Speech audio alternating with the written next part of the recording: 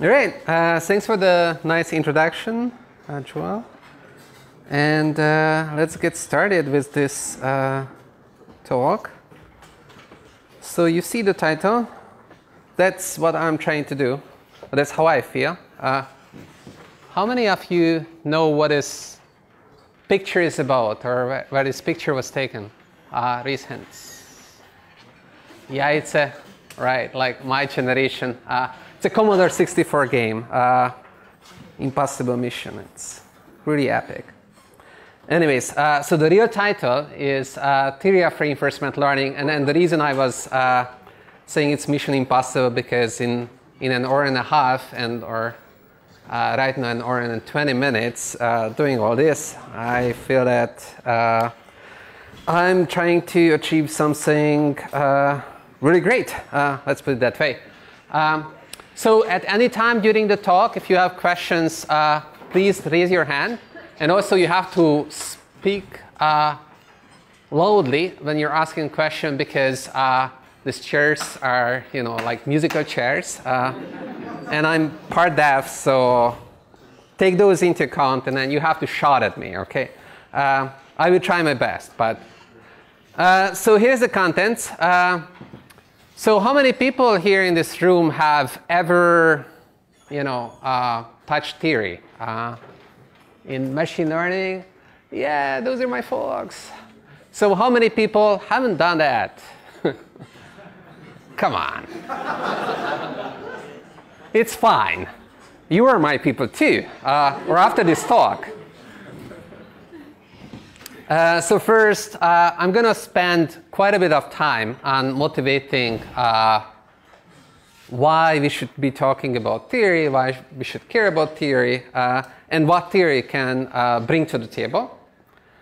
And then we jump in the middle. I'm going to talk about various aspects of theory of reinforcement learning, including batch learning, using simulators, use planning algorithms, and if you don't have simulators, what can you do, and what you should be looking at. Um, and uh, like I really feel that I need to manage expectations here. Uh, there is a lot of stuff that I'm not going to cover. I'm unable to cover uh, given the limited time that I have. Uh, so we'll only cover very, very simple things, but don't think that only those exist out there. There are other things that exist out there. I'll be around uh, for the rest of the day and tomorrow. And so if you have any questions uh, in connection to this talk or anything else, please come and, and talk to me. So I'm going to talk about very simple tasks. And I'm going to try to illustrate principles uh, that we use in theory and uh, some, some hurdles that, that you need to overcome. Uh, I want to highlight those hurdles uh, that make reinforcement learning different from supervised learning. So that's, that's the goal. So let's jump into the first part, uh, which is what is this guy talking about and why? And you should, be you should not be slinking yet. Okay, so what and why?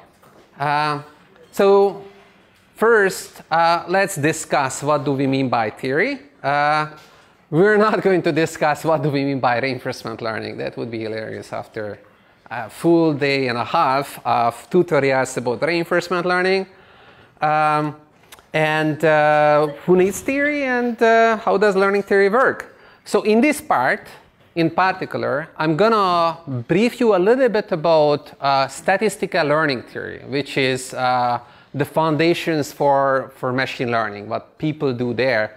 But again, like right now I'm gonna be presenting a tiny, tiny, tiny fraction of uh, what's out there. So that's important to keep in mind. So just for inspiration and aspiration, uh, I thought that it's, it's good to cover some basics of classical learning theory in, in supervised learning. Um, so first, uh, what is theory? Uh, so let me ask you this question. What is theory? What do you say? Throw yeah. Math. Math, that's theory. Okay. Yeah. Maybe it's part of it. Is it necessary to do math to do theory?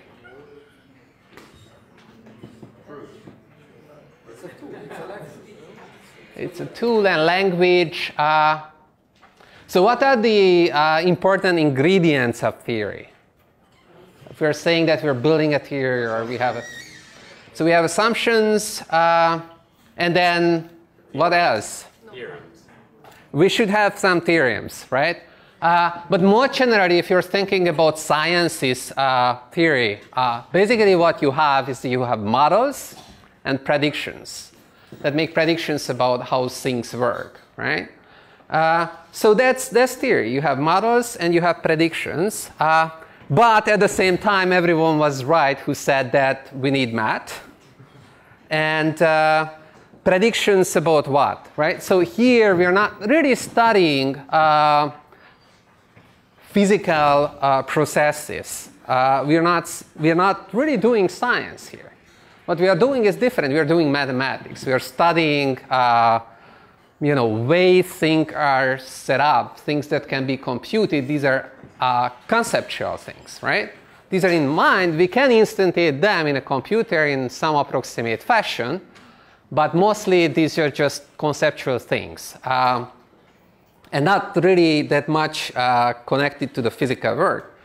But at the end of the day, if you want to build a robot, then of course it's going to be connected to the physical world. So to make the theory useful, maybe you should have some connection to it. So, um, so that's that's a definition of theory for me. Uh, and uh, so my next slide is about these two gentlemen. Uh, do, does anyone in the audience know who these gentlemen are? Any guesses? I've heard Maxwell. So that's the guy on the left. The left? Right. Right for you. Yes. And uh, the other guy? No? Ah, cheater. Marconi, yes. Uh, so the gentleman is a big beard. Uh, this Maxwell, the other guy is Marconi. Uh, so what did these guys do? Huh? Electromagnetism. Electromagnetism is uh, basically the invention of Maxwell. What is the invention of Marconi? Radio. The radio. What? Yeah. Yeah. Um, so in a way, Maxwell, you know, he came way earlier than Marconi. Uh, he invented the so-called Maxwell equations that summarize how electromagnetic waves travel in space uh, in time. And with that, he created a foundation with his theory for building useful devices like the radio, right? So oftentimes this is what happens, uh, that uh, Maxwell was not really interested in building a radio. He wanted to understand some phenomena. He wanted to build a theory for the sake of understanding something. And uh, and this, this is uh, often what uh, theoreticians would do. They would, you know, go about their little problems uh, that may look like as toy problems, but along the way, who knows? Uh, in this case, you had to wait quite a couple of decades uh, before the discovery of the Maxwell equations led to something ultimately so useful like the radio. But, but it happened.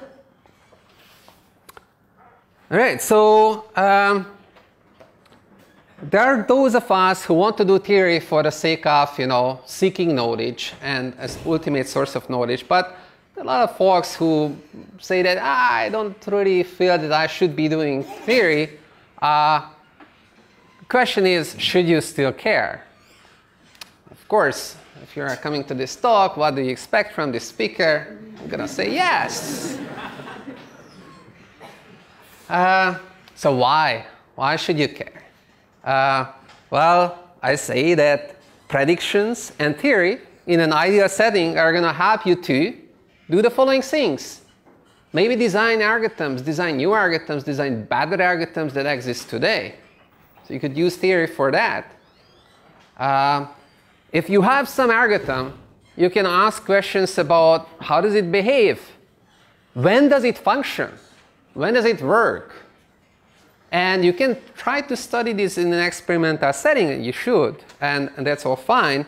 But to ultimately understand what, where are the boundaries of the, the scope of uh, an algorithm, uh, well, it's hard to imagine doing that without theory. Um, or if you want more quantified uh, information about, for example, you have an uncertain situation and you want to quantify uncertainty, uh, then theory can help you to do that.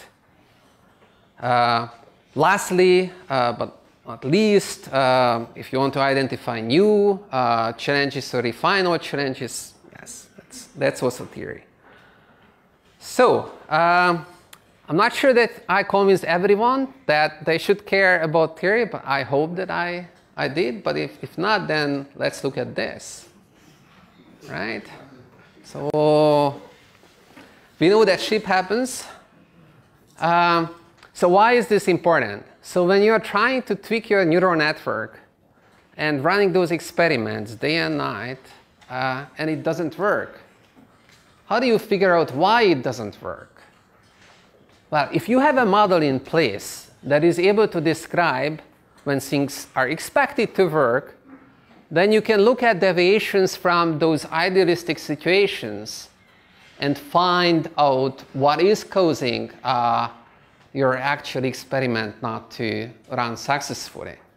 And I think that uh, without exaggeration, we can say that, uh, like in this field of us uh, these days, uh, I think there is a very, very tiny little fraction of, uh, of experiments that lead to published uh, results, and there will be a lot of uh, sweat and work that goes into trying out things and then seeing them fail.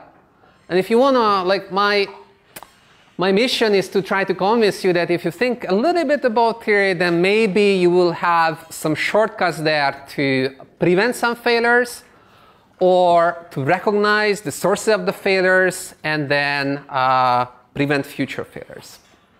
All right. Uh, but the truth is that theory and practice are not antagonistic at all. They are together, like yin and yang.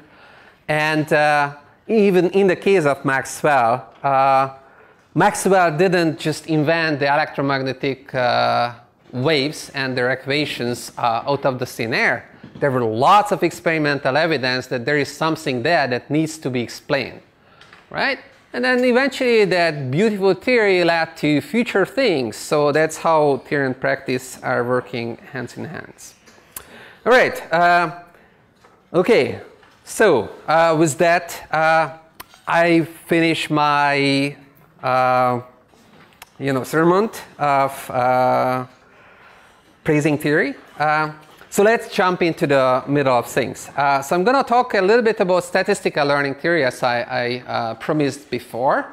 Uh, so what are the ingredients of, of this theory? Uh, so there are distributions, samples, learning algorithms, predictors, and loss functions.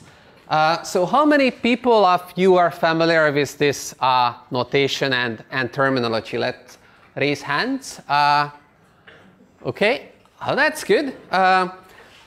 Nevertheless, I think that it's good to uh, have uh, some uh, recordings of, of these ideas. And, and let's do this in the context of uh, binary classification, which is the simplest uh, possible supervised learning task.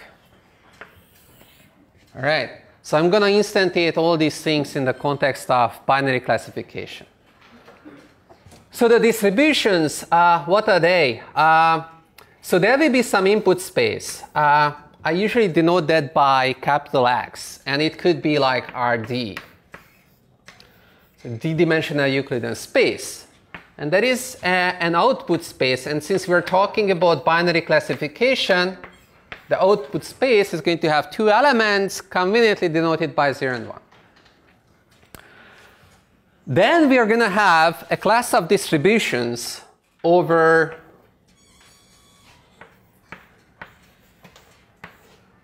the cross product of the input space and the output space. So M is my notation for all the distributions over that set, right? So what's in the argument of the set, that's where the samples are going to live.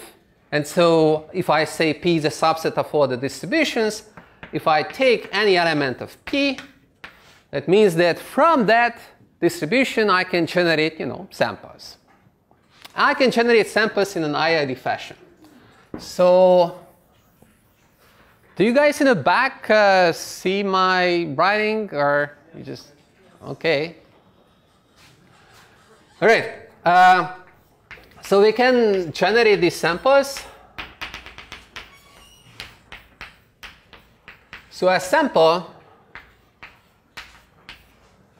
is a list of tuples xi and yi leaving this space x cross y and in classical learning theory, we assume that xi and yi are identically distributed according to some distribution in our family of distributions. In learning theory, in one part, it's called agnostic learning theory, you make no restriction on P. You're going to equate P, this class of distributions, with the set of all possible distributions. So there is no further restrictions. In other parts of learning theory, you start to make some restrictions, and um, the results are going to differ because of that. So anyways, back to here. Uh, so xi and yi are a random variable that are sampled from this distribution P, and we're going to assume independence between them. So when you have this situation, then we say that this xi yi sequence is an IID sequence independent, identi identically distributed sequence of random variables. So this is how you think about your data. So you're thinking about that my data, Sn, was somehow born by someone throwing dice repeatedly n times, and the dice had so many different ways, so many different sizes that I, as a result of the dice throws, I got these guys. And xi describes my input and yi describes what I want to predict, given the input. Um, so the next ingredient uh, in, in learning theory is uh, predictors. So in this case, the, uh, the predictors are just maps. We also call them hypotheses from the input to the label space, so to y. So y is, uh, this y space is just uh, the 0, 1. So these are functions that map inputs to uh, either 0 or 1. We're trying to predict the labels. And for what? Well, not for the data that is in our data set, but for future data. Okay? How are we going to evaluate how good is a predictor? So if you pick a predictor, like age, we're going to assign a loss to it. And when we're assigning loss, we have many, many choices. The simplest possible choice to assign a loss is the following. So the loss function is going to map um, a hypothesis and an element of the x uh, y cross product space to generally it, it maps to non-negative numbers. And the way it works is that you plug in the, uh, the age, and then you plug in an x and a y into the loss function. And uh, the simplest possible loss function is called a binary loss. Uh, it's defined as a loss of 1 if h of x is not equal to y, and otherwise it's a 0 right? So we dressed up this, this abstract uh, terminology uh, with this specific case. This is binary classification. Oh, I didn't say what a learning algorithm was. A learning algorithm, uh, it's not really an algorithm, so that's a misnomer. It's a learning strategy or whatnot. It's going to map a sample to a hypothesis, right?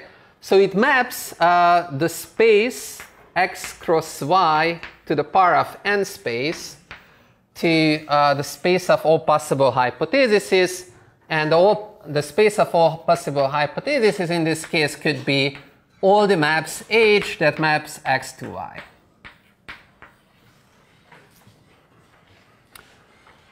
So we don't care about how to compute this. We just say, well, the learning algorithm at the end of the day is just going to deliver a predictor. If you have a predictor and you have this distribution, then you can ask, okay, how good is this predictor? So that's the risk. So the risk, of the predictor is just the expected loss of the predictor under the distribution P. So let's denote this uh, by R, H, and P, which is uh, the probability that H of X is not equal to Y in the case of binary classification where X and Y are jointly distributed according to P. So now a learning algorithm delivers, based on the sample, which is random, a hypothesis hypothesis is going to be random itself. So if I plug in the output, I guess uh, I better write here. If I plug in the output of the learning algorithm, uh, which is a of Sn, into the risk function, which is going to deliver me a random number that depends on the randomness of the sample, right? And then you can say, oh, okay, so that's the risk of the hypothesis produced by the algorithm. And in general, you're interested in algorithms that produce hypotheses with low risk. The hypothesis with the lowest risk is called a Bayes hypothesis for whatever reason, and you want to be close to that. Uh, since this is a random number, you can't just say that, well, it's 5 well, it depends on what the input is, Sn is. It's going to have a distribution, right? So the important thing is that this is going to have a distribution. So it's, it's non-negative because we said that the losses are non-negative. It's distributed in some way. So you can characterize it by its mean, by its variance. Uh, and then when we're talking about, oh, how confident are you that the risk of your uh, of the uh, hypothesis produced by your, your, learning algorithm is, is above, uh, I don't know, uh, below uh, 0.1, uh, we're talking about this probability mass that's there, which depends on unknown p, which you don't know. So even the problem of knowing how well you're doing becomes kind of challenging in this framework. So you need to have tools to deal with that. So this is kind of the, the setting where we are starting from, the learning theory setting. Okay. So um, how does learning theory work? Um, there are many questions asked in learning theory. One of the questions is uh, belongs to what I call a priori analysis how well a learning algorithm will perform on new data, on future data. That tries to answer questions about this distribution. Without seeing P, without uh, seeing Sn. It's an a priori prediction. Like if you have uh, P coming from this family and your learning algorithm is like that, this is what's going to happen. It's a priori prediction. And a posterior analysis or prediction uh, is after seeing the data, still not knowing P, what can you conclude about the distribution of the risk? So there's the subject of a posteriori analysis. Okay? So learning theory studies all these. Um, so in a priori analysis, you have, for example, results or questions like, can we compete with the best hypothesis from a given set of hypotheses? So for example, you could restrict here the set of hypotheses uh, in some non-trivial way. And you say that, ah, I just want to compete with the best hypothesis over there without putting any restrictions on P. That's called agnostic PAC framework, uh, Vapnik's learning theory. Uh, and the problem is, uh, can we match the best possible loss, assuming the data generating distribution belongs to a known family. So that's what mostly people do in parametric and non-parametric statistical analysis. Other problems include does algorithm, uh, some algorithm achieve something? All right. Um, so I'm going to uh, skip over this slide and uh, just uh, skip to two fundamental results of statistical learning theory, which are uh, crucially important to know about. Uh, at least know because uh, it's it's just you know foundation for a lot of the thinking that goes into to learning theory. Um, so I'm going to present two results, the fundamental theorem of statistical learning theory and, and the result com about computation complexity. So notice that we haven't talked about computation complexity of the algorithm yet, but there is a question, question uh, of whether you can achieve a small risk uh, in an efficient way, efficiently computable way. It's not enough to say that, yes, you can achieve a small risk, because maybe it's not computable. Uh, right, so uh, the fundamental theorem of statistical learning theory uh, answers uh, the question for problem number one. And it goes like this. It's very simple. Uh, if you take any hypothesis class, H, which is a subset of this, this big hypothesis class, there is a unique number. It's called the VC dimension of H, and I'm not going to define it. Uh, most likely you have heard about it anyways. Uh, that characterizes this class. And if you want to compete uh, with the loss of a best hypothesis up to an accuracy of epsilon, so your excess risk shouldn't be more than uh, epsilon of the best possible risk over the hypothesis space H, then you are going to need at least uh, the VC dimension of H divided by epsilon square samples. And it's possible to, uh, to achieve this risk with this many samples. So this up to log factors, this is tight. So this is the inherent difficulty of competing with the best hypothesis in uh, a hypothesis class in this statistical learning theory setting. So that's, that's one of the foundation results. It's cool, eh? um, I think it's cool. Uh, it's, it's a pure information theory result. And the algorithm that achieves this is super simple. It's called ex, uh, empirical risk minimization. It's basically uh, compute the empirical loss and uh, assume that you can minimize it over the hypothesis space of your choice. And you can prove that this is this is this algorithm algorithm. It's not. It's like argmin algorithm is um, going to achieve this this guarantee. Uh, at the same time, things are not rosy, uh, not that rosy uh, altogether. So the next result concerns the computation complexity of dealing with some very simple hypothesis spaces. So linear classification. In linear classification, the input space has uh, a vector space uh, structure. It's like RD. Let's say it's RD. And um, and the hypothesis space is, uh, you know, on one side of a linear hyperplane, uh, you have a plus one, the other side you have a zero label. Okay, so very, very simple hypothesis. And you're trying to compete with the best uh, hyperplane. And this result says that, unfortunately, in this framework, when you have no idea about the underlying distribution, no restrictions on the underlying distribution, this seems to be computationally hard the exact result says that unless NP is equal to RP, uh, RP is this uh, class which is maybe a little bit bigger than P. Uh, it's randomized time polynomial. Uh, so unless I'm NP uh, equals RP, which most of the people don't believe it's true, linear classifiers cannot be learned in polynomial time in this framework. Yes? Do you have an idea of how different nonlinear classifiers are from that? It will be harder. right? So if linear is this hard, then nonlinear could be much harder. Hmm?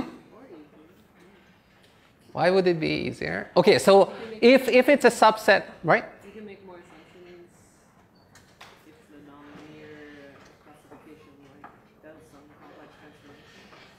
I don't know. Uh, actually, people study these questions on a case-by-case basis. Unfortunately, we don't really have a generic good understanding of the computation complexity of this task. But I don't think that we should have high hopes about that suddenly uh, because uh, you're considering nonlinear classes, it's going to be easier. But at the same time, there are some interesting phenomena. Sometimes, for example, if you allow yourself a little bit of lag, uh, like a bigger class sometimes actually could help. Uh, if you're choosing a bigger class of functions, then there are two things that are happening. The smallest risk becomes smaller, so it might be harder to get to there, to that point. But at the same time, maybe somehow the search space is uh, changed in some miraculous fashion. But uh, in general, uh, we know that uh, like we have hardness results for training neural networks if, if you're really interested in that. Like I can talk offline about that uh, and also about whether those results are relevant or not because that's, that's also a question, right? So these hardness results always use, it's a worst case thing. They, they make up something. Right. Um, so I think this is also cool. Uh, why is it cool? It's a negative result. Shouldn't we be sad? In a way, yeah, you can be sad about it, but it's a fact. You have to live with it. It's cool to know a fact, right? And you know that, well, if, if this is how things are here, then maybe we have to change something if we want to deal with real stuff. Um, so I think that uh, negative results are, are absolutely fantastic, and that's like the unique contribution of theory uh, to, to machine learning. It's, uh, there is nothing better than that. Uh, it's kind of like you're trying to, to know what's possible and what's not possible, and you're trying to push the boundaries from inside and from outside, both ways. You want to figure out where, where is the thing that is possible to do. All right, yeah.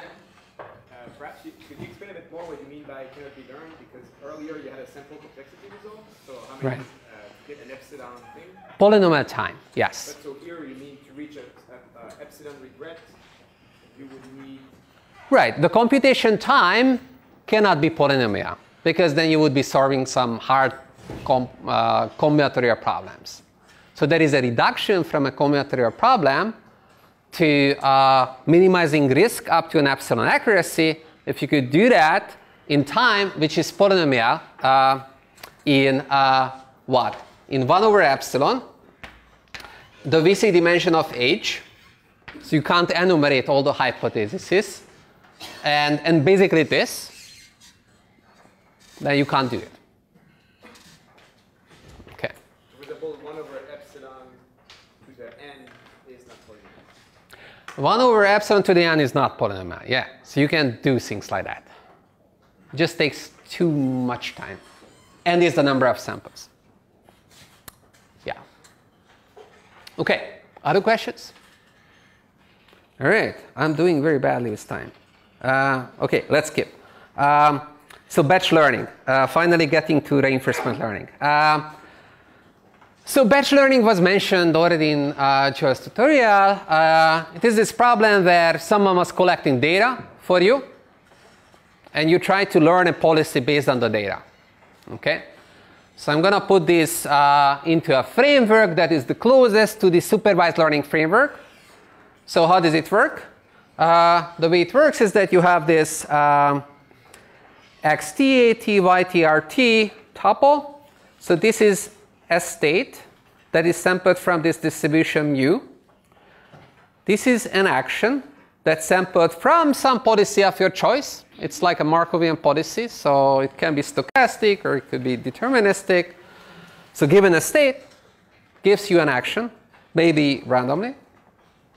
And then there is a next state that is sampled from the probability kernel that describes the MDP underlying. So I'm using an MDP framework here. Um, so YT is the next state. And for simplicity and to avoid further complications, the nicest case, we're going to assume that the data is IID. Okay? Yes.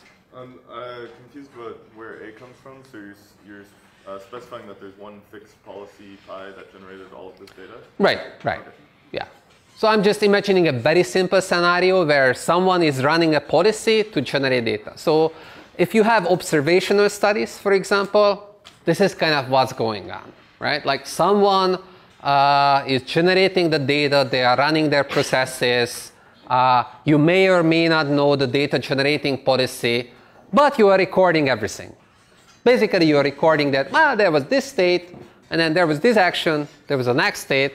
By the way, uh, states are evil, but let's move on.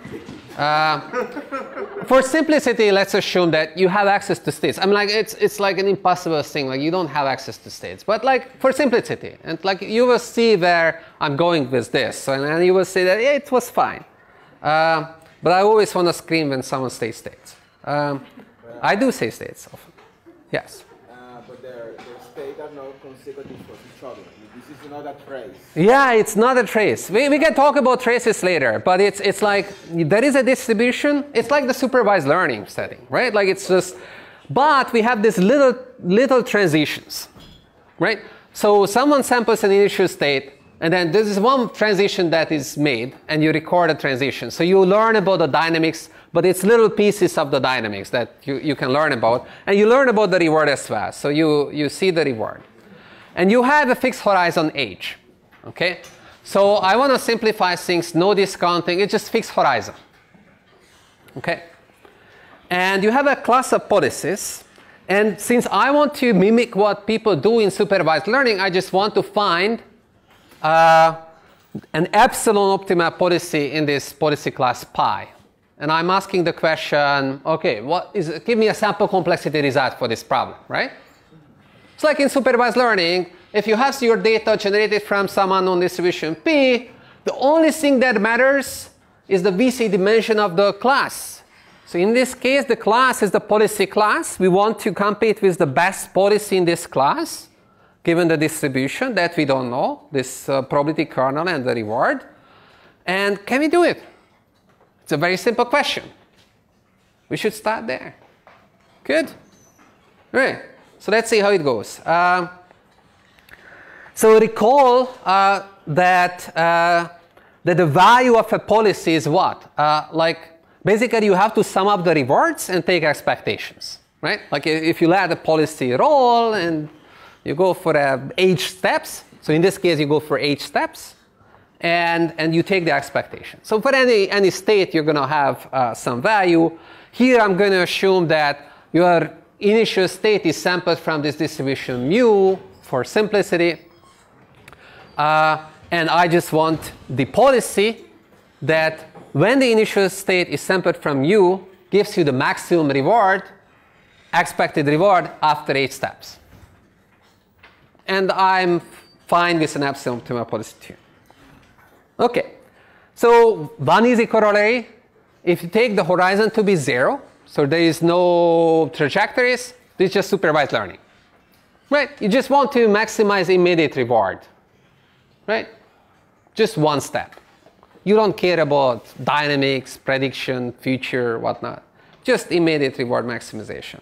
This is kind of like one particular case of supervised learning. It's called cost-sensitive classification. It's like not really the binary classification, but it's pretty close. And you can imagine how you can get sample complexity results in this case as well. And that will be very similar to the sample complexity result that we had.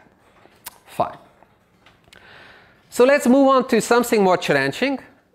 Uh, right, so, okay, just spelling out the obvious. Um, let's take the case when the horizon is 2. So you basically make two steps. And I'm going to consider a very simple policy space and a very simple example that is going to prove this, uh, this first result.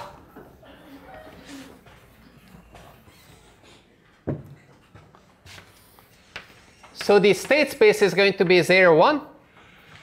And the policies are like this.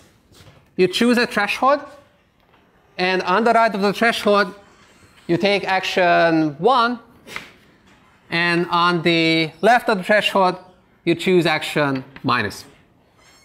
So you can adjust the threshold. That's your parameter. That's theta. That's the policy class. And now take the following MDP. Uh, if you start at state 0, you stay at state 0. If you start at state 1, you stay at state 1. If you start anywhere but 0.5, 0, and 1, you transition in a single step to 0.5. Okay? And if you're at 0.5, if you take plus 1, you get to 1. If you take the action minus 1, you get to 0. Is this clear? Very, very simple. So let mu, this distribution, be the uniform distribution of the on 0, 1. And let's imagine that we generate this data that we have from the uniform distribution. We collect n samples. And then we need to learn what to do. The catch is that there are two MDPs. I'm saying there are not more than two MDPs. In one of the MDPs, if you get to zero, uh, if you get to uh, state zero, you're going to get a plus one reward there and a minus one reward at uh, one. And in the other MDP, it's the other way around. The good state is one and the bad state is zero. Okay? And uh, you're generating and generating and generating the samples. Well, first of all, you're not going to hit 0 or 1. So you will never see whether you're going to get the reward of 0 or 1. And you will also not hit uh, 0.5 ever in the sample. There's a probability of 0. So you can generate infinitely many samples. And you're not going to learn to distinguish these two MDPs. And in one of the MDPs, you should be going left. In the other MDP, you should be going right. And the policies uh, have a very simple structure as well. So there is no counterpart of the fundamental theorem of statistical learning theory in batch reinforcement learning. Just not possible. Right? So in this generality, sorry, you can't say much. This was just meant as a very simple example illustrating how things very quickly escalate in, in reinforcement learning. And uh, again, you have a negative result. What do you do? Go home, close shop, move on. Uh, well, we should think about what the problem is, what, what's causing this. Uh, how are we going to reconcile this with all the good experiences that we have about reinforcement learning? Well, first of all, what is the problem? Uh, the problem is that uh, the critical decision is at 0.5, but in the data 0.5 doesn't appear ever, or 0 and 1 doesn't appear ever, right? Uh, so can we make it so that like we are sure that all the critical states similar to 0.5 uh, and 0 and 1 appear in the data without any further, I mean like, uh, it is a very strange assumption to, to make that, uh, that it's sure that this is happening. Nevertheless, uh, people try. So we can we can try to, to make assumptions like we're going to have better sampling distributions. Uh, but at the same time, it's kind of like really hard to push this through. Okay, any questions? Was the example clear?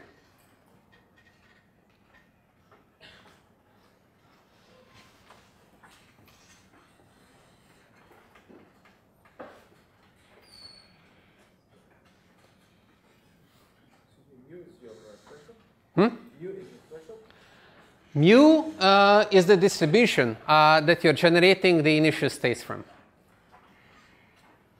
So you're generating initial states from the uniform distribution. And then you follow the transition kernel for one step. So if you happen to be, you know, like you're going to be somewhere here, so all that you're going to see is that all the transitions go to 0.5. That's all what you have in the data. There is nothing else in the data. So you will never learn about the effect of the actions at 0.5, and you will never learn about the, uh, the rewards at 0 and 1. So what does it mean that if you have h equal 2, you don't see in the data two transitions? Right. So that would be a good suggestion. So why not uh, consider at least two steps? I can tweak things in such a way that that doesn't happen.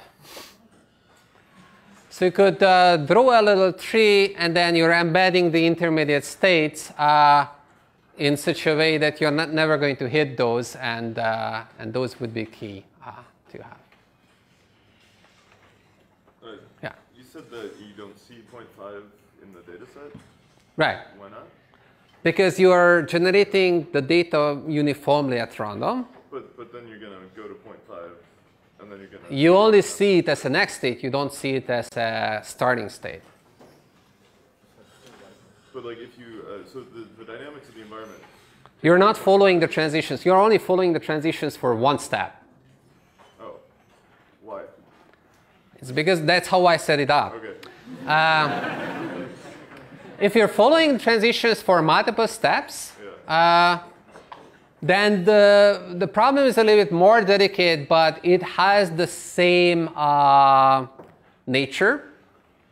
The problem is that the optimal policy might want to, you know, uh, go a certain way, and all the data that you are seeing from the policy that you, you were using to generate the data goes some other way. And if you're not seeing these keyhole states, which are really important for you know to how to act, then the situation is doomed. I think this is very important to understand because this is one of the challenges that we face all the time in reinforcement learning. That we're learning with changing distributions as opposed to uh, in supervised learning that the train and the test distributions are mostly the same, right? So when I said that let's compute the risk of the hypothesis, it was this under the same distribution that was used to generate the data. It was not a different distribution. In reinforcement learning, when you switch to a policy, you switch to a new distribution. There is no control over that. That's much harsher. It's a harder learning problem because of this. It's inherently harder. Okay, one more question and then we need to move on. It seems like the problem comes from the fact that you sampled your data from the uniform distribution. Ah, no.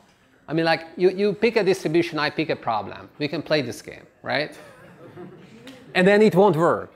Like, you can always imagine that I can trick you by choosing a specific MDP because we didn't put any restriction on any MDP. So I'm gonna, like, be very tricky with that. Anyways, uh, so let's move on. Uh, we can talk offline uh, later on. So, what? Uh, so is this the end of the world? Well, no, I mean, like you can push it. I'm gonna skip this slide and come back to it later. Uh, but we have, we do have some general recipes for positive results as well. So people are pushing the algorithms, and you can do an inverse analysis. You look at the algorithm and you say that, hey, under what conditions can I prove that this algorithm does work? And then you can work with the conditions, and that's helpful for debugging things when things don't work. So it's not going to be a general theory like the fundamental uh, theory of learning, uh, theorem of learning theory, but you can still analyze specific algorithms. And I will show uh, uh, the result of such analysis later. Um, okay. So the next topic I wanted to, uh, to talk a little bit about is when you have a simulator, because this kind of addresses this, uh, this issue that we're discovering that uh, distributions mismatch exist in reinforcement learning. It's inherent to reinforcement learning. the training distribution in, in the batch setting and the distribution induced by the policies are just different, and that's a problem. But if you have a simulator, it's a whole different new world. You can simulate trajectories as you will. You can generate new data under your, uh, your policy. So this leads to what we call a planning problem. Uh, and so in a planning problem, uh, the way I define it, you imagine that you have a huge MDP. It's so big that you can't hope to enumerate all the states in it. In fact, you will have problem naming the states in the MDP. And your goal is to compute still maybe a good policy within a restricted policy class or overall uh, an action of a good policy. Um, so, um, right.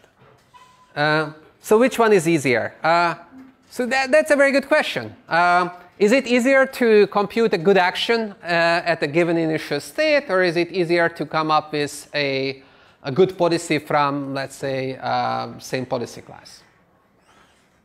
Well, gut feeling should be that it should be easier to get a good action because if you have a good policy, then you just take the action that it recommends. Uh, so the second problem is definitely not harder, but it's actually easier.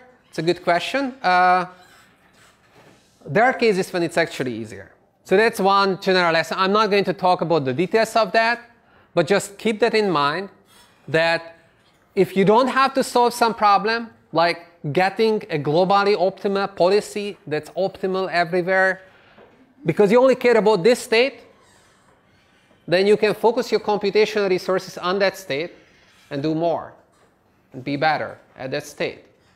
And then when the next state comes along, you do some more computation. Right? You can spread out the computation in time that way. And it's, there is a separation between these two results in the sense that the first problem is strictly harder than the second one.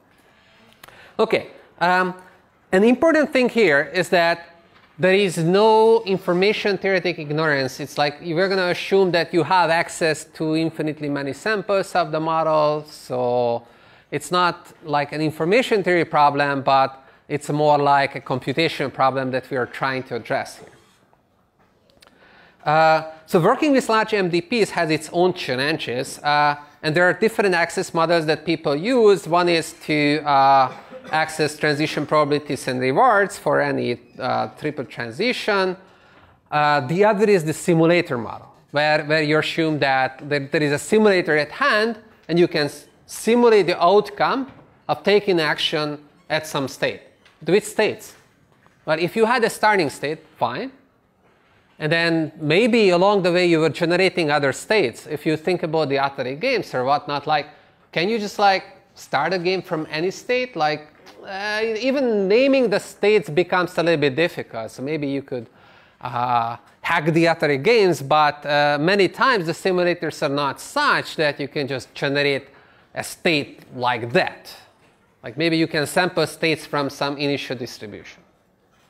Um, so this is how you can deal with a, a, large MDP where you can't just describe everything that you know about the MDP. I mean, like maybe you have equations, but uh, that's uh, not really the same thing as describing all individual transition probabilities.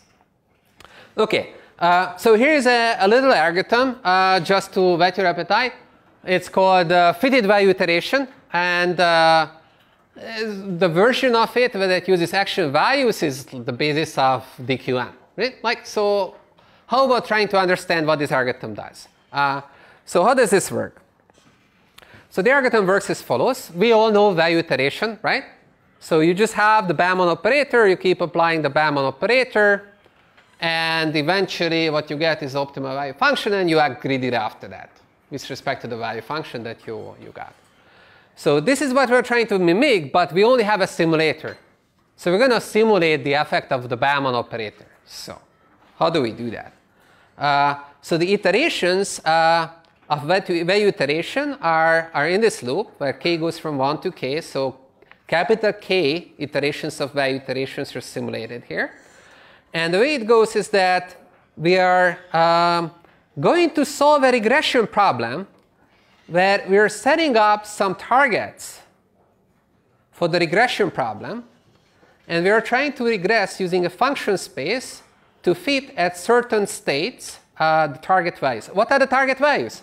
Well, it's the target value is what the Bellman operator should give if uh, we use the current value function, which is v, and we uh, update, we uh, applied it uh, at state x. So the Bellman operator basically computes uh, expected reward plus expected value of next state. And if you have a simulator, you can just simulate many transitions and take an average instead of taking expectations. So that's what this very simple algorithm does. Okay. Um, so you set up this regression problem, and then uh, there you go. So picture the way it works is that you have the space F, which is the space of functions that you can represent with your regression architecture. Maybe it's a neural network. And you would apply the Bellman operator, but it doesn't quite work. So you need to project it back to the, the function space. And you do that in a noisy fashion, right? So this is going to be a noisy uh, version, and then uh, you project back. Noisy and project back. And then you hope that you're making progress. It's a very simple idea how to use a simulator to, uh, to uh, emulate value iteration. Does it work?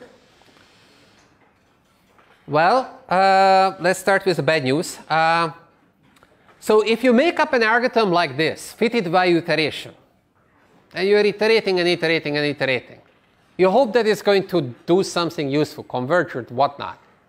Well, bad news is that often it doesn't. So I won't have time to explain the details of this very simple example, but uh, in this simple example, you assume uh, that you generate actually infinitely many samples. So the only uh, approximation that's going on is that you are projecting to a function space.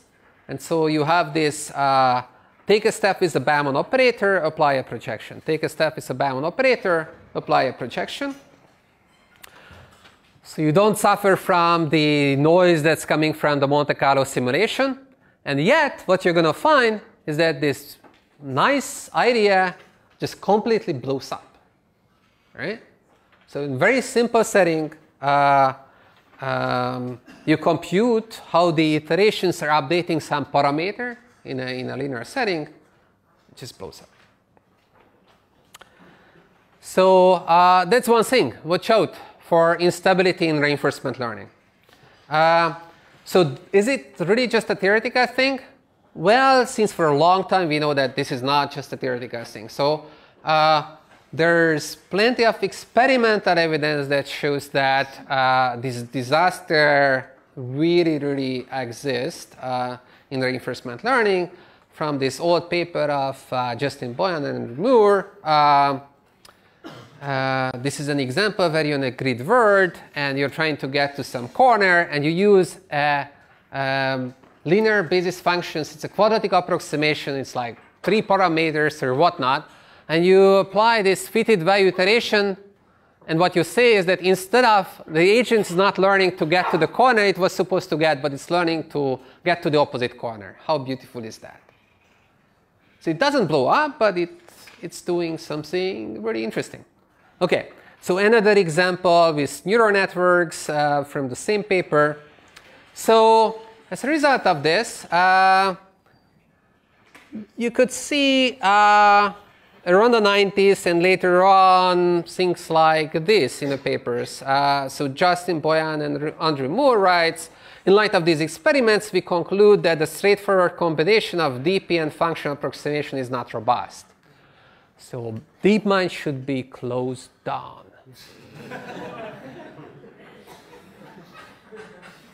All right. Um, and Geoffrey Gordon, uh, same way. Uh, I mean, it's these are really worrisome. It's, it's truly worrisome. Like you have very simple examples where things don't work, right? Like maybe we should have better algorithms than this. Okay. You can push a little bit harder. Oh, sorry. What happened to my beautiful equations? Uh, yeah. It's super complicated. Uh, Right, only pictures, uh, no equations from this point on. it seems. Uh, anyways, so this is really surprising. You know what? Because it's it's a picture I copied, so it's impossible. But the impossible happens. Anyways, um, going back to the talk, it was just move it around. yeah. Rotate it. It's much better, eh? Um, right. So if you want to know the details of this, you definitely have to talk to me. Um, all right. So the point of this was that, okay, there is this fitted value iteration algorithm. It's not that like it never works. It works sometimes. So why not try to understand under what conditions does it work and derive a bond on how good a policy you can get after k iterations. And uh, with joint work with Remi Munos, we did this, and then this is not the result of it. Uh, but the bond has important terms that explain what is important to make this algorithm work. And the few things that are important to make this algorithm work are the following. So first of all, you have to have a very flexible approximation architecture. That means that like whatever value function the Bellman operator is going to throw at you, you should be able to approximate it. If you're starting from a value function that was in your function space. Or approximate it pretty well. So one of the terms that's hard to see there, so this is the error. and one of the terms that you see there is this. Uh, so that captures this approximation error. What? The mouse is not pointing on the screen. The mouse is not okay. All right. Okay. What can you do? Um, it's getting worse and worse. Now? Hey. All right. Um, all right. So so that's one of the terms. Uh, another term that you don't see describes the affinity of the sampling distribution and the distributions that the policies induce as you're learning, you're implicitly inducing some policies, which are the greedy policies susceptible value functions that you, you came up with. And those induce some distributions. So the uh, divergence between these two are going to be in a bound. So if these two things are controlled, basically you're in control. Right? So why is this important? It's important because you can do very well if you're controlling these things. And that's what DQN is doing right? Uh, so what is difference uh, compared to uh, what was happening before? Uh, so what happened is that mu was not fixed in DQN, but it was slowly changing. It's called experience replay to mimic better the distributions and the policies that you come up with, right? we have this divergence term in a bond. I can predict that if you need to keep that divergence term small, if you want to have a stable algorithm that's going to deliver good performance. The other thing that's important is that you have a very flexible architecture. It's a convolutional neural networks with many, many neurons in it. And uh, it has the right biases as well. Um, meaning that well, you have to work with these images in this setting, uh, the other games. And uh, because of that, you don't need that many uh, examples. Um, and uh, right, so these are these are key. And uh, I say that theory kind of predicts it. Um, of course, uh, it it would be very, very good to see some data published on the relative importance of these individual tricks. Uh, we haven't seen that yet, but uh, hopefully uh, we'll see some of those. Yes. So what was the term that is representing the flexibility of the approximation? Can you repeat The DTFF, uh, it's like the worst case approximation error if you're taking one value function in f and you apply the Bellman operator to it and you try to approximate the resulting function with a function from your function space. it's an LP mu error because we, we choose the LP mu uh, norm to, to measure the errors. But it's worst case overdose. Uh, and then many people actually criticize the result that it's, it's worst case, like it's, it, it demands that uh, this worst case error should be small, but I think it's really important. If the worst case error is not small, you are likely to run into trouble. And then what we see is that you have these oversized architectures right now, right? Driving down the, this worst case approximation error. And then plus you're, uh, you know, dealing with this covariate shift, these two, uh, two problems, and then you can have better performance. Um, all right, so if you push harder, it works. It's good. Um, so here is my little map of planning methods. So these are the things I'm not going to talk about. I'm not going to talk about this, this forward planning, which is local planning or the hybrids or actor critic or policy search. Peter was talking about these, uh, actually all these. And uh, I was just mostly just talking about these, but there are very many uh, interesting results. But let me, let me just skip to the next part. So um, Great. So in the last part, I want to talk about a case when you don't have a simulator, but you have access to the reward. So no simulator, no pain. Well, things are getting real. Look at that. Great. Uh, so this is what we call online learning. Uh, online learning is an abused and overused term in learning theory. Uh, and when I'm talking about online learning, I'm talking about a system that's learning to achieve some goal by interacting with a real system. And uh, when I'm talking about online learning, I, I, tend to focus on the goal of collecting lots of lots of rewards as you're learning. So during learning, you can't afford to lose much reward. You die.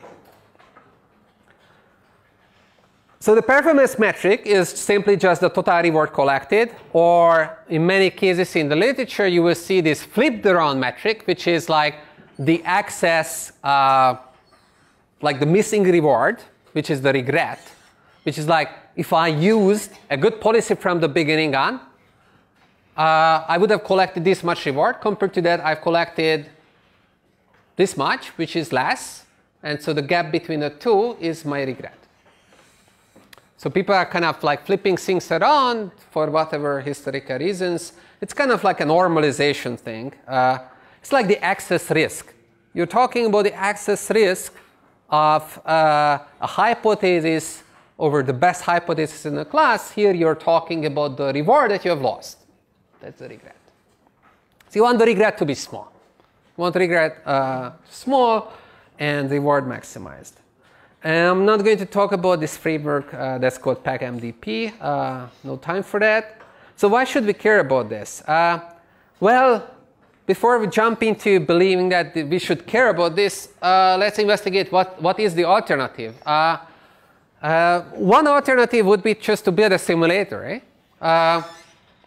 so use your samples, build a model, and you use planning, like in previous parts. The problem is that uh, sometimes the models are very, very challenging to build. Uh, so right now I'm working on, on some applied project where you have to deal with fluid dynamics. It's nasty. Uh, and if you have some unmodeled dynamics, then they, the unmodeled dynamics might have unpredictable uh, effect on uh, the performance of your policy. So you might find the best policy for your simulator, but maybe when you deploy it under your system, it's not going to do any good for you. So that's a, that's a problem. And uh, so sometimes uh, this model-based area just doesn't work, uh, or it's too complicated. And then sometimes online learning can actually be uh, done in an effective way, you know, like on the internet. You can scale up things uh, and, uh, and that's the opportunity. Uh, caveat, uh, so these are not antagonistic. Model-based uh, RL and online learning, I mean like an online learning algorithm can totally use a model-based uh, algorithm un- underneath. So what is the challenge here? Uh, so I want mainly focus on why is this problem hard. So recall that what we are trying to do is that we're trying to explore an unknown environment to collect as much reward as possible. So consider this simple setting where you are in a river and you can swim upstreams to get to the big bounty. And if you're just like lazily splashing around, then you're gonna reach the humble pie. Okay?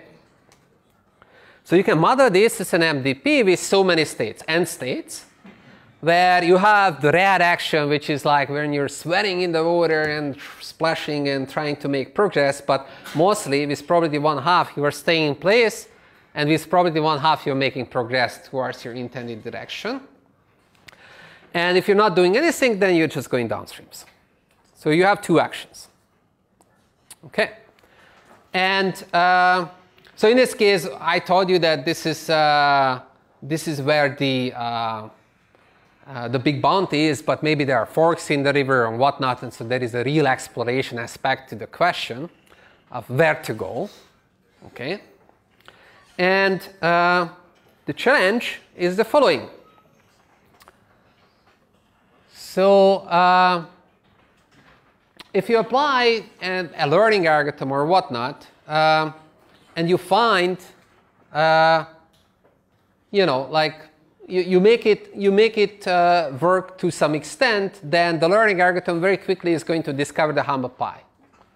It's going to say that yeah, it's better than in the water, so a good policy is to get to the humble pie, right? And then maybe, you know, like following uh, common advice, you're gonna add epsilon exploration. So that means that with certain probability, you're gonna deviate from your intended action, which is to go towards the humble pie.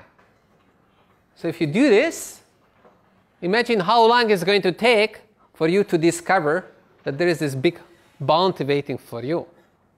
So this, this is shown here.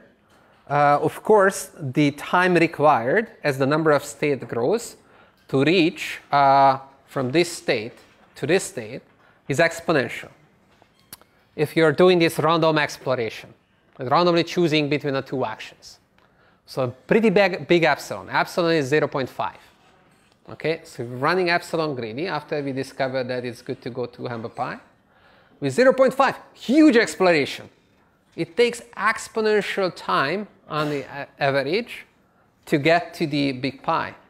Whereas if you have an algorithm which is saying that, well, I haven't seen this state, I haven't seen it, Let, us go there, let's, let's see the states that we haven't seen yet, okay? Then it takes linear time. So it's exponentially less time to get uh, to the big bounding. So the important thing is that there is an exponential gap between uh, the behavior of these two things. Uh, all right.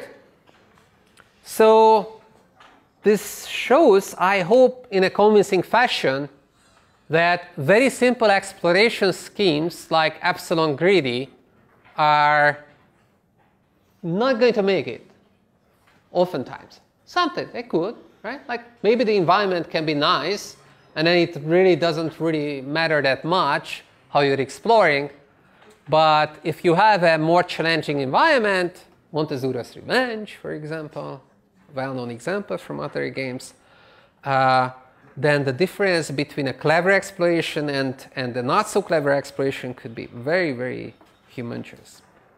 Right. Uh, so just to give you a taste of what people do in exploration, I'm gonna talk very quickly about uh, bandit problems and then how you generalize everything from bandits. Uh, so by the way, uh, you might have seen this. Uh, this is this is my my plug for this website that we wrote together with Tor Lattimore, banditalgs.com. So if you want to learn about bandits and exploration, that's your go-to place. Uh, right. So what are bandits? It's are problems without the state or with a single state. So simple. It's like you take an action, you get to the next state, yeah, it's the same state as you have been before.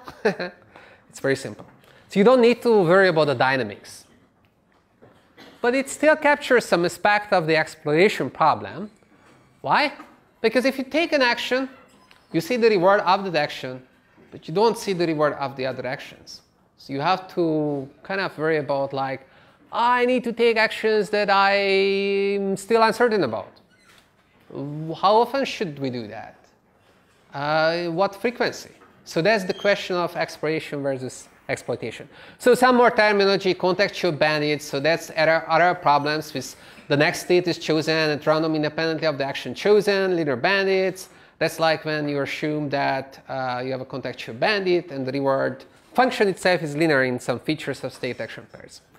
Uh, so key results on stochastic bandits. Uh, so here's a graph that kind of shows uh, one of the take-home messages that we learned from the bandit literature.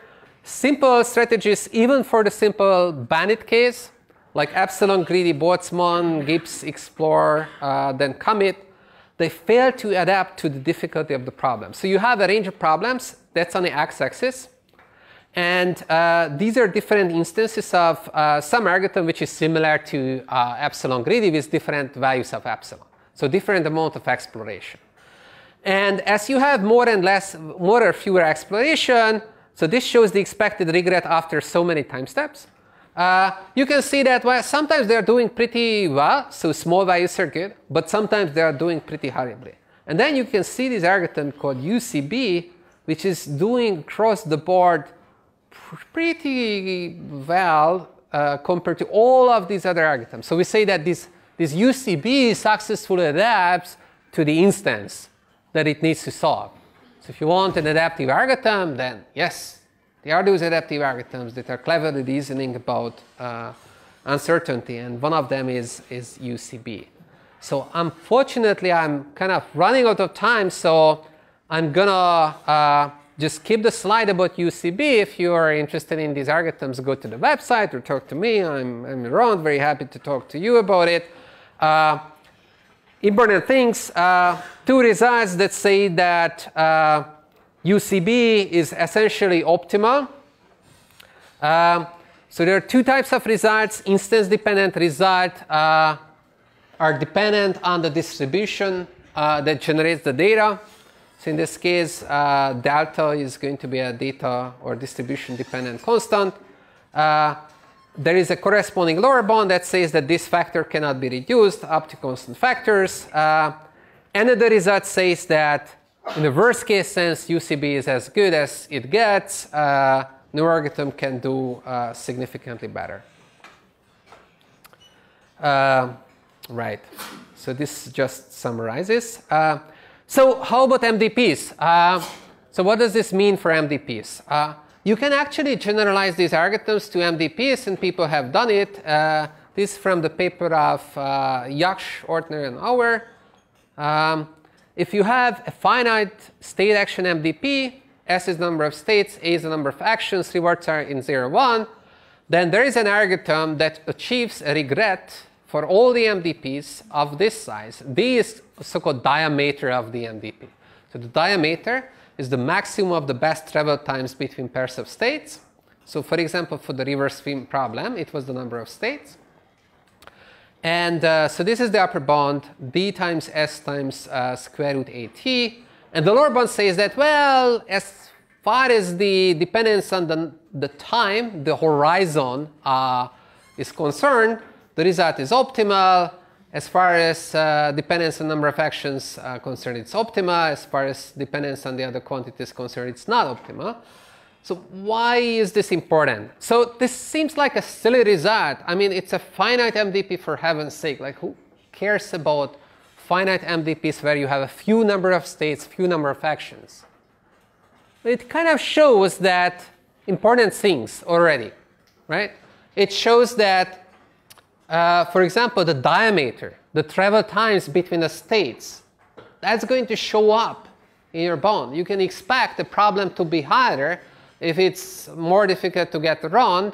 And more importantly, you can expect from this result, you can expect that you're not going to scale very badly with the diameter. It's not exponential scaling with the diameter. It's just, you know, linear scaling or maybe square root scaling with the diameter. um, number of states shows up.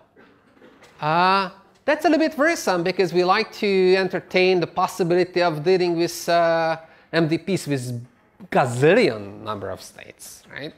Uh, well, if you don't assume any further structure, the worst case result, this lower bound tells you that you're out of luck, right? So it just tells you that, ah, hey, that's the boundary. Like this result is important. It says that you need to assume that, okay, okay. Uh, you need to, you, didn't, you, you, you have to start to make assumptions. And then you better be reasonable, right? All right. Okay.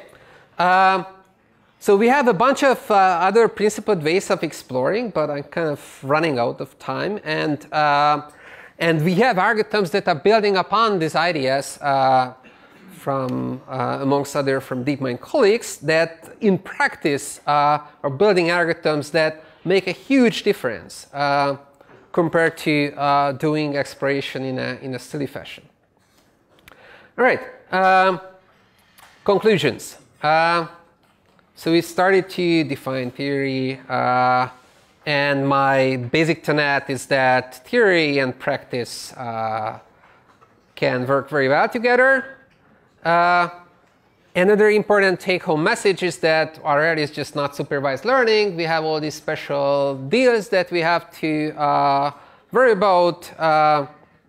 There is information or distribution mismatch computationally or problems tend to be uh, way more challenging, although we saw that already in supervised learning there could be some computational challenges. Uh, we talked about various uh, problem classes, batch simulation and online.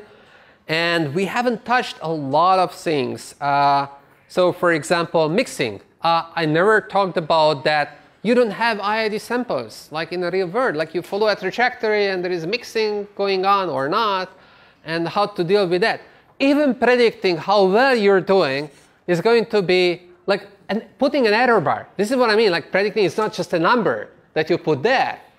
Remember, I, I drew this distribution at the beginning. This is a random quantity. Like all these things are random. You want to know about the distribution. You need the error bar. Who's going to put that error bar? Can you just like use the usual error bars? Well, imagine the mixing process which is not mixing, which is repeating, repeating, repeating the same thing you shouldn't be using the same error bars, right? So it's, it's very nuanced and challenging. Okay, so uh, finally, uh, love negative results. Um, okay, and finally, uh, bashing a little bit my field. So there exists such a thing as bad theory. Like it could be, things could go bad in two ways. One is that proofs are wrong, we shouldn't have that. Uh, but the other thing is that we could get the modeling assumptions wrong, which means that they don't quite fit reality. And there's always going to be really, really challenging. That's the most challenging part of working in this field of coming up with the right set of assumptions, right set of modeling assumptions. Uh, but we should be attentive to this, we should be conscious about this and we can make it better. All right. I think that my time is totally up and everyone uh, really wants to get some coffee. Uh, I'm going to hang around, so if you have any questions, uh, just anytime.